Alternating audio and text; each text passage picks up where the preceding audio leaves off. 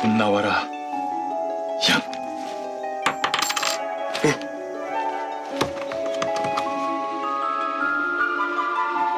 진짜로 나왔네? 대박. 말했잖아. 그림을 그리면 눈앞에 나타난다고. 혹시 실령님? 됐고, 나와 얘기하고 싶음 지금처럼 날 잡으면 돼. 야, 붓주제 대단하다. 뭐? 붓주제야? 이씨! 너 일로 와. 너 가만 안 둬! 붓의 능력은 실로 대단했다. 붓으로 그림을 그리면 눈앞에 그 실체가 나타나는 신비한 붓이었다. 이후 이후건은 붓으로 필요한 걸 그렸고 그 덕에 많은 재산을 모아나갈 수 있었다.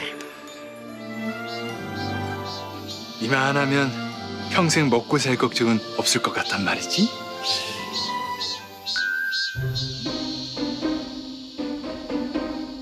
가만.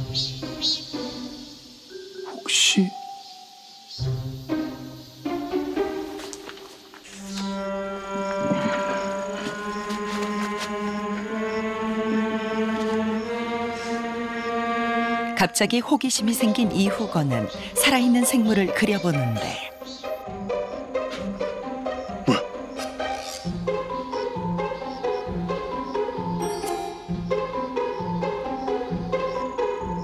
뭐야?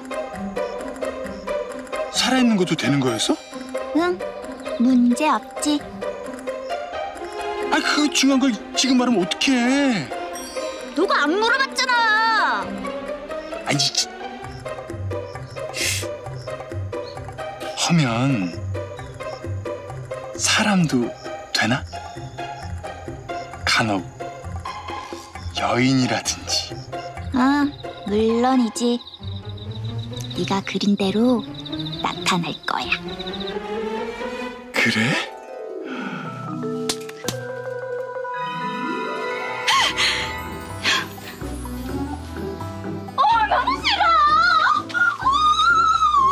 아이, 제대로 그렸는데 네가 그려서 눈앞에 나타나는 건 내가 만들어낸 게 아니야. 자, 한 잔 따라 먹어라. 한 잔 받으시지요. 네 주변에 있는 걸 옳지. 네 앞으로 가져오는 거야. 진짜였네. 근처 기방에서 일하는 기녀였어. 오랜만에 오셨으니까. 그러게 말이다. 붓이 어떻게 그림을 실제로 불러오는지 알게 된 마당에 더는 그 붓을 둘수 없었어. 붓의 진짜 능력은 새로이 만들어주는 것이 아니라 주변에서 불러다 주는 것이었다. 근데 네 사정이 너무 딱해서 모른 척 할 수가 있어야지. 마지막으로 붓 한 번 들자고 했던 것이 돈 나와라. 야! 아, 어찌 그런 일이...